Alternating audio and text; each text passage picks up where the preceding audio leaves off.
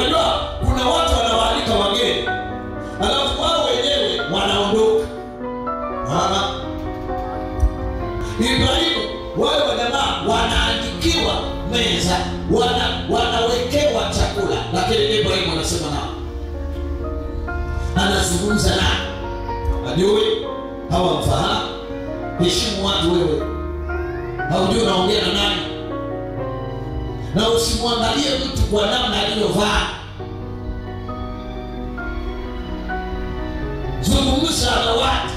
Ibrahimu anazungumza na wale wa jamaa. Kumbe adui anazungumza na mungu. Jamani bwana yesu asifiwe. Jamani jina la bwana litukuzwe.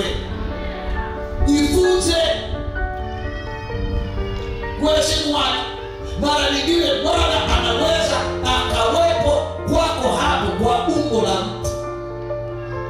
na hakuna habari. Yakobo wakiwa pale jangwani anasema ah, sikujua kumbe hapa ni lango la mbinguni. Kuzungumza na mungu. Sema naye. Zungumza naye.